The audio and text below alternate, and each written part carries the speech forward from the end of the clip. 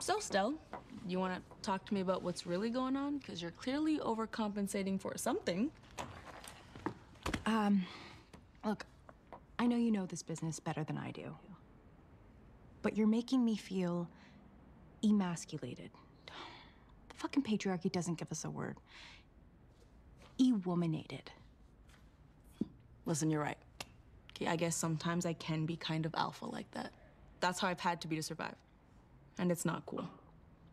Listen, I don't want our business stuff to mess us up. Okay? But, um, you really want to be equal partners in every way?